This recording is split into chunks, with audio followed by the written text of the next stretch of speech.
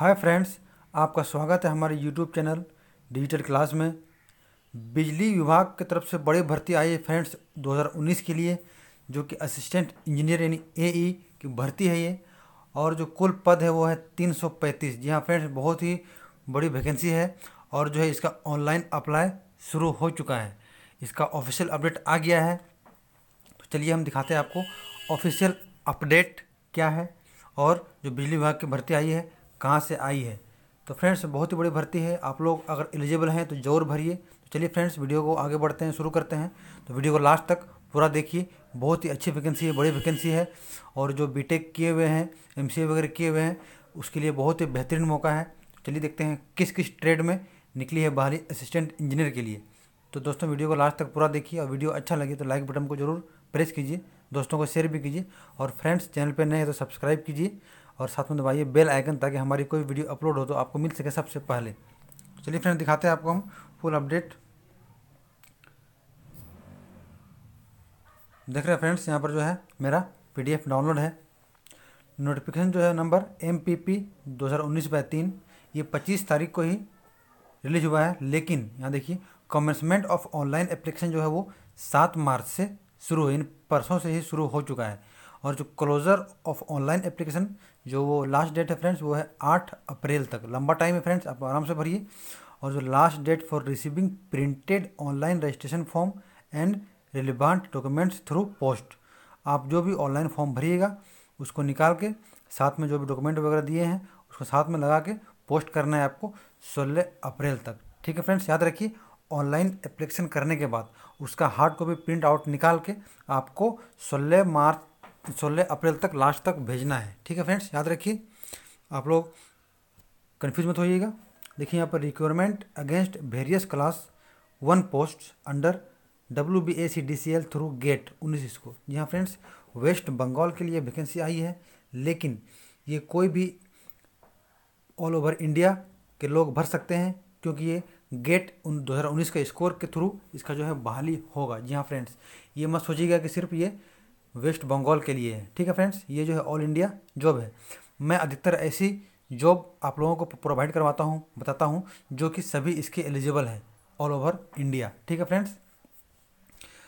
तो देखिए यहाँ पर कौन कौन सा पोस्ट है। सबसे पहला है असिस्टेंट इंजीनियर इलेक्ट्रिकल ट्रेड में जो किए हुए हैं।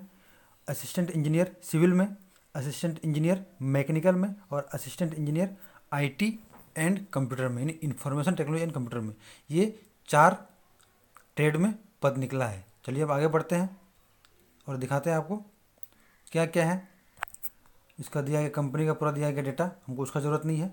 जो आपको ज़रूरत है मैं वो बता रहा हूँ फटाफट। क्योंकि आपको जो काम की जानकारी है बताऊँगा। चलिए आप चलते हैं। डिटेल ऑफ़ पोस्ट क्या क्या है? मिनिमम जो है एसेंशियल क्वालिफिकेशन क्या है? वैकेंसी कितनी है? उसका सैलरी कितनी है? और एज कितना है? सब दोस्तों बात करेंगे। तो चलिए सबसे पहले चलते हैं। असिस्टेंट इंजीनियर इलेक्ट्रिकल के लिए। इसमें जो है फ्रेंड्स, टोटल जो वैकेंसी है वो है दो सौ छियालीस, ठीक है? और इसमें जो है कैटेगरी वाइज बांटा गया है जो कि अनरिजर्व में एक सौ तैंतीस है, एससी में उनचास है एस में पंद्रह है ओ ए में बाईस है ओ बी में उन्नीस है और पीडब्ल्यूडी में आठ है, ठीक है friends?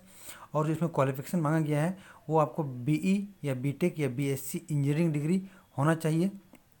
Including candidates who have join the course through later entry जो लेटर एंट्री किए वो भी भर सकते हैं। In electrical engineering electrical and electronics combined power engineering B honours in physics with three years BTech in electrical engineering from any institute approved by A I C T E या I I T C ठीक है friends और इसका जो salary है, वो आपको पंद्रह हज़ार छः सौ से लेकर उनचालीस हज़ार एक सौ तक इसका पे बैंड है और जो ग्रेड पे है, वो पाँच हज़ार चार सौ ज़बरदस्त सैलरी है फ्रेंड्स और जो नंबर दो पे आते हैं, पोस्ट, आगे बढ़ते हैं, ये असिस्टेंट इंजीनियर सिविल के लिए। जी हाँ फ्रेंड्स जो कि नंबर ऑफ़ वैकेंसी जो है, इसमें साठ है और यहाँ पर जो कैटेगरी वाइज किया गया है अन रिज़र्व में तीस है एस में चौदह है एस में तीन है ओ बी सी ए में छः है ओ बी सी बी में चार है और पी डब्ल्यू डी में तीन है।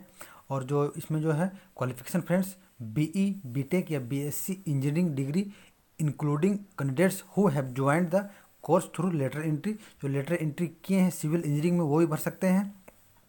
और जो बी बी टेक वगैरह किए हैं तो, तो भर ही सकते हैं। और जो construction engineering from any institute approved by A I C T E approve आपका होना चाहिए डिग्री और इसमें जो सैलरी फ्रेंड्स सेम है पंद्रह हज़ार छः सौ से लेकर उनचालीस हज़ार एक सौ और ग्रेड पे है चौवन सौ। ठीक है फ्रेंड्स अब नेक्स्ट नेक्स्ट में है पोस्ट नंबर थ्री जो कि असिस्टेंट इंजीनियर मैकेनिकल के लिए इसमें जो है नंबर ऑफ़ वैकेंसी जो टोटल है वो है सत्रह, और इसमें अन्य रिज़र्व में आठ है एस में तीन है, एसटी में एक है ओ ए में एक है ओ बी में थ्री है, और पीडब्ल्यूडी में एक है। और जो क्वालिफिकेशन है, बी ई, बी टेक या बीएससी होना चाहिए आपको मैकेनिकल में, या अगर आप लेटरल एंट्री किए हैं मैकेनिकल इंजीनियरिंग में तो भी आप इसको अप्लाई कर सकते हैं। और आपको जो डिग्री है ए आई से अप्रूव्ड होना चाहिए। और जो इसका आपका मान सॉरी इसका जो सैलरी है रेमुनेशन वो आपको सेम है। पंद्रह हज़ार छः सौ से उनचालीस हज़ार, एक सौ ग्रेड पे चौवन सौ है। और नेक्स्ट चलते हैं और लास्ट जो है पोस्ट नंबर फोर वो है assistant engineer information technology and computer इसमें जो है, कुल जो पोस्ट है, वो है बारह। और जो अन रिज़र्व के लिए चार सीट है एस के लिए तीन है एसटी के लिए एक है ओ ए के लिए एक है ओ बी के लिए दो है पीडब्ल्यूडी के लिए एक सीट है। और जो क्वालिफिकेशन फ्रेंड्स वो B E B tech B S engineering होना चाहिए आपको। ठीक है फ्रेंड्स इन्फॉर्मेशन टेक्नोलॉजी या कंप्यूटर साइंस में, ठीक है, या एम होना चाहिए, या बी सी ऑनर्स वगैरह किए हैं तो साथ में आपको तीन साल का जो है बी टेक होना चाहिए, ठीक है फ्रेंड्स और ये भी आपको अप्रूव होना चाहिए एआईसीटी से इसका जो सैलरी सेम है पंद्रह हज़ार छः सौ से उनचालीस हज़ार एक सौ, जो ग्रेड पे है चौवन सौ। और जो फ्रेंड्स आपका जो है, देखिए degree diploma certificate obtained by the candidates from open school university और through distance learning mode duly recognized by UGC, IICT, NOS in prescribed layout of qualification are allowed. ठीक है फ्रेंड्स बहुत सारे लोग कमेंट करते हैं कि मेरा जो इग्नू से है मैंने डिस्टेंस से कोर कोर्स किया है क्या मैं अप्लाई कर सकता हूँ कि नहीं? तो यहाँ पर साफ़ साफ़ है आप अप्लाई कर सकते हैं लेकिन शर्त है कि आपका जो है रिकोगनाइज होना चाहिए यूनिवर्सिटी यूजीसी से या एआईसीटीई से या एनआईओएस से तभी आप अप्लाई कर सकते हैं। ठीक है फ्रेंड्स अगर इसके रिगार्डिंग कोई भी दिक्कत हो तो मैं आप कमेंट बॉक्स में कमेंट कर सकते हैं, मैं उसका जवाब देने का कोशिश करूँगा। ठीक है फ्रेंड्स, अब देखते हैं अदर फैसिलिटी क्या क्या मिलेगा आपको। आपको जो बेसिक पे और ग्रेड पे है, वो तो मिलेगा ही प्लस जो साथ में आपको डी मिलेगा एचआरए मिलेगा मेडिकल अलाउंस मिलेगा इलेक्ट्रिसिटी अलाउंस मिलेगा hill compensatory allowance project allowance बहुत सारा फ्रेंड्स यहाँ पर L T C H T C C P F gratuity benefits इतना सारा फ्रेंड्स लीडिंग हॉस्पिटल वगैरह सेल्फ डिपेंडेंस वगैरह बहुत सारा चीज़ मिलेगा फ्रेंड्स यहाँ पर जो है कंपनी का रूल है, सब कुछ आपको मिलेगा। और यहाँ पर बहुत सारे कंडीशंस हैं तो ये सब में आप पढ़ लीजिएगा, क्योंकि हाँ देखिए आप चल बात करते हैं एज लिमिट का, क्योंकि मेन पॉइंट है, आपको जो मिनिमम एज है फ्रेंड्स वो अट्ठारह साल होना चाहिए और जो मैक्सिमम एज है वो ट्वेंटी सेवन यानी सत्ताईस साल होना चाहिए।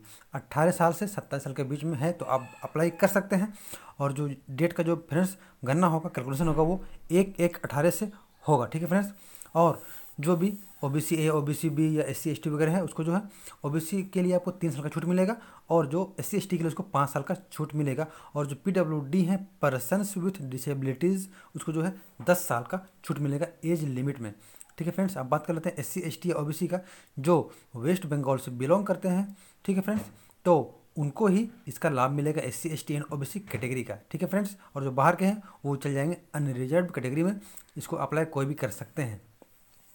हम बात करते हैं प्रोसेसिंग एंड एग्जामिनेशन फ़ीस ठीक है फ्रेंड्स नंबर पहला जो है असिस्टेंट इंजीनियर इलेक्ट्रिकल के लिए आपको क्लास वन है टेक्निकल ये आपको जो है एप्लीकेशन फ़ीस चार सौ रुपये है। लगभग सभी के चार सौ रुपये है, ठीक friends assistant engineer civil mechanical और इन्फॉर्मेशन टेक्नोलॉजी एंड कंप्यूटर सभी के लिए यहाँ पर चार सौ रुपये फ़ीस है एप्लीकेशन फ़ी इसको जमा कैसे करना है, पहले हम देख लेते हैं। इसको जो फ्रेंड्स ऑनलाइन जमा नहीं कर सकते हैं, ठीक है फ्रेंड्स इसको जो है आपको यूनाइटेड बैंक ऑफ़ इंडिया का जो ब्रांच है वहाँ पर जाके जब आप ऑनलाइन अप्लाई कीजिएगा तो वहाँ से प्रिंट निकाल के जो आएगा चलान, उसको जमा करना है, फिर आपको उसको अपलोड कर देना है। ठीक है फ्रेंड्स? और जो है, इसको चलान के थ्रू आपको यूनाइटेड बैंक में ही जाके जमा करना होगा। ठीक है? और ये जो फ्रेंड्स, डेट है, आपको पता ही है, सात मार्च से ऑनलाइन शुरू है और आठ अप्रैल तक इसको आप जमा कर सकते हैं। और यहाँ पर साफ़ साफ़ लिख दिया है कि demand draft, money order, postal order या any other mode of payment is not acceptable ठीक है फ्रेंड्स चलान के अलावा कोई भी जो है मोड एप्लीकेबल नहीं होगा, इसको तो आप लोग ध्यान रखिएगा, ठीक है? और अगर एक बार आपका पेमेंट हो जाता है तो वो फिर रिफंडेड नहीं होगा, ठीक है? आपको